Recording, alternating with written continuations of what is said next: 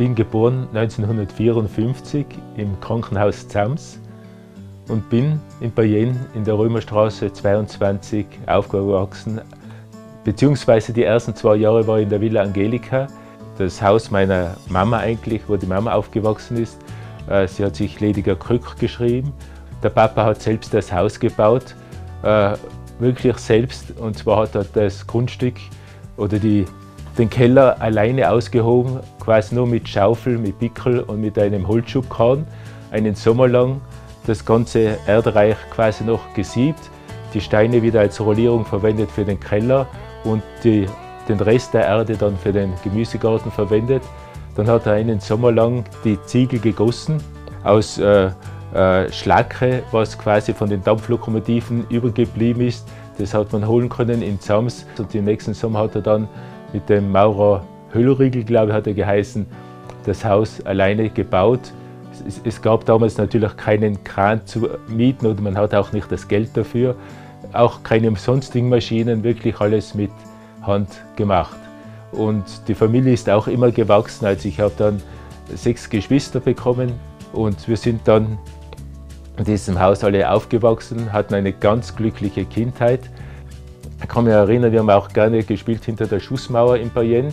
Also das ist der große Fußballplatz und hinter dem Fußballplatz war die sogenannte Schussmauer und da war so eine Böschung hin zum Inn. Und äh, da war es besonders gefährlich, wenn Hochwasser war und vor allen Dingen, wenn uns der Ball dann ins Wasser in den Inn äh, gefallen ist. Und da kann ich mich noch erinnern, äh, da ist das wirklich im Hochwasser gewesen und der Lederball war natürlich für uns ein und alles. Also das war ein Vermögen für uns damals, einen Lederball zu besitzen. Und da bin ich einfach ohne zu denken in das Hochwasser hineingehüpft, um den Ball eben herauszuholen. Und da hat es mir, weiß Gott, wie weit abgetrieben. Also da habe ich einen riesen Schutzengel gehabt, dass ich das überlebt habe. Aber den Ball konnte ich retten. Und vor allen Dingen auch das Skifahren war das äh, im Winter natürlich und das Rodeln. Und hinter dem Gymnasium war das Bödele, wo wir sehr viel Ski gefahren sind und vor allen Dingen Ski gesprungen. Das äh, Skispringen war äh, das Ein und Alles für uns. Und das Rodeln dann eben beim Professorenhaus drüben, wo es die sogenannten Hopskala gegeben hat.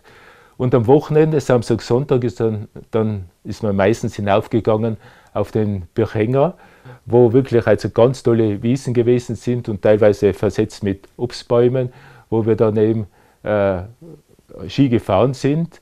Also es gab noch keinen Lift, es war noch nicht der Lift gebaut am Tial, der Sesslift, beziehungsweise auch noch nicht eben die Fennetbahn.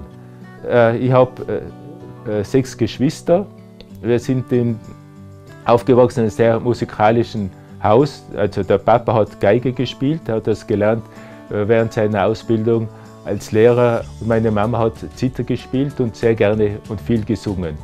Und da haben wir dann als Kinder quasi schon anfangen können, äh, Musikinstrumente lernen. Ich habe mit elf, zwölf Jahren Ziehharmonika angefangen zu lernen, mein Bruder Gitarre und dann auch die anderen Geschwister äh, auch nochmal Ziehharmonika oder andere Instrumente. Und zusätzlich ist dann ein Jahr später der Onkel gekommen und hat uns äh, geworben, dass wir eben zur Jungmusik dazugehen. Äh, die Stadtmusikkapelle Landeck hat eine Jungmusikkapelle gegründet und wir waren natürlich gleich Feuer und Flamme, dass wir dann ein Blasinstrument lernen konnten. Mit der Zeit haben wir dann auch sehr viel Hausmusik gemacht und wir haben schon angefangen, eine Band zu gründen. Zuerst eben mit den Blasinstrumenten. Dann Walter hat angefangen mit einer kleinen Trommel, dann aus der kleinen Trommel ist dann das Schlagzeug gekommen. Da haben wir schweren Herzens unsere Modelleisenbahn, eine Märklin, sehr schöne Märklin-Eisenbahn, äh, verkauft, um das Geld zu haben, das Schlagzeug zu kaufen. Wir haben dann Verstärkeranlagen gekauft und Gesangsanlagen und äh, Elektrogitarre und Bassgitarre und Hämatorgel und haben dann eben äh, mehr und mehr eben geprobt und für Auftritte in allen möglichen Gasthäusern, äh, äh wo wir dann gespielt haben. Und so sind wir dann eben als äh, Vibratos vor, haben wir dann musiziert. Wir haben dann vor allen Dingen in Ischgl und in Galtür gespielt, also im Hotel Wirlerhof, dann in Ischgl, damals im Hotel Bust in der Taverne. Wir haben auch gespielt einmal beim Zeltfest am Nachmittag in Landeck und bei verschiedenen Bällen in Landeck und Umgebung. Äh, und dann kam eben die Zeit, weil ich auch immer in dieser Zeit äh, sehr gerne gezeichnet habe, dass ich mich entscheiden musste, was will ich werden, will ich äh, eventuell auch Lehrer werden wie der Papa. Äh, ich habe mich aber eben sehr für die Kunst interessiert und wollte auf die Kunstakademie gehen. Und dann haben die Eltern doch äh, auf mich eingeredet und eingewirkt und gesagt, ja, ich soll doch zuerst einen unter Anführungszeichen anständigen Beruf erlernen, also auch an die Pädagogische Akademie gehen und im Anschluss dann darf ich an die Kunstakademie weiter studieren. Und so habe ich es eigentlich auch vielleicht, weil wir mit der Band doch recht äh, Erfolg gehabt haben. Und habe mir gedacht, ja, dann kann ich noch zwei Jahre weiter bei der Band spielen. Und mich dann entschieden, dass ich an die Pädagogische Akademie gehe. Die hat damals nur zwei Jahre gedauert und bin im Anschluss dann äh, nach Wien äh, gegangen, habe dann die Aufnahmeprüfung gleich auf Anhieb auch geschafft und habe dann die nächsten fünf Jahre in Wien zugebracht an der Kunstakademie, was auch eine sehr, sehr schöne Zeit gewesen ist. Ich habe dann dort äh, einerseits das Lehramt studiert und äh, auch äh, das äh, Diplom gemacht. Das heißt, dass ich auch eben akademischer Grafiker geworden bin. Die erste Ausstellung, die war in der kleinen Galerie. Die hat äh, Carota Robert geleitet, der eigentlich auch beim Museumsverein äh, Landex ein Gründungsmitglied gewesen ist. Und der hat das so als Kaffeehaus, so ein kleines Café in Zusammenhang mit einer Galerie hat er das aufgezogen. Das war die erste Einzelausstellung. Die erste Ausstellung, was äh, ich gemacht habe, das war zusammen mit dem Bümpel Norbert und mit dem Schmied Reinhard.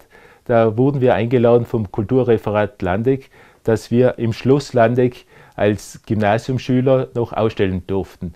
Und dass diese Ausstellung äh, war irgendwie schon so ein bisschen ein Start für uns als Künstler auch.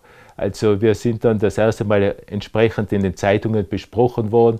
Vor allen Dingen eben die äh, Kritiken über der, die Ausstellung sind sehr positiv gewesen und das hat schon sehr beflügelt. Also diese Ausstellung war für, für Bümpel Norbert, für den Schmidt Reinhardt, aber auch für mich schon sehr wichtig. Wie ich auf der Kunstakademie gewesen bin, äh, hat mir der Professor oder uns allen, unseren Studenten, so Ausschreibungen gebraucht für irgendwelche Biennalen. Und da habe ich das Glück gehabt, dass ich eben ausgewählt wurde, da mitzumachen. Und da ist dann, äh, dadurch, dass ich dann schon bei mehreren Biennalen schon sogar Preisträger auch war, habe ich dann automatisch schon Einladungen bekommen von anderen Biennalen. Und so ist es dann, das Rädchen hat dann angefangen zu laufen und seitdem bin ich vor allen Dingen auch viel in Fernost, also in China war ich mindestens zehnmal, also in Peking achtmal, in Shanghai, in Kunming, in Shenzhen, äh, äh, bei Biennalen beziehungsweise auch dann bei Preisvergaben drüben, äh, in Japan zweimal und dann in Malaysia, Taiwan, dann vor allen Dingen auch in Amerika, sei es jetzt New York, sei es in San Francisco, in Los Angeles, in äh, Napa Valley, äh, aber auch genauso Montevideo in Südamerika und äh, wenn man will, Nordafrika in Kairo, wo ich drei, viermal schon ausgestellt habe. Aber natürlich in Europa in sehr, viel, sehr vielen Städten. Also ich habe da zwei Büchereien, wo nur Kataloge drinnen sind, wo äh, ich eben ausgestellt habe. Also in alle diese Kataloge sind Werke von mir abgebildet und eben äh, dokumentiert. So. Und das ist, muss ich sagen, äh, mein Lebenstraum gewesen und es ist bis heute. Also ich bin jeden Tag glücklich, wenn ich im Atelier bin. Ich freue mich, wenn so am Tag äh, oder wenn ich am Abend dann wieder schauen kann, was wieder gelungen ist und äh, es ist beflügelt, jedes Bild wieder schon das nächste zu machen und es ist wirklich eine Leidenschaft, es ist eine Sucht, es ist, ja, man kann es nicht beschreiben, man muss es selber machen.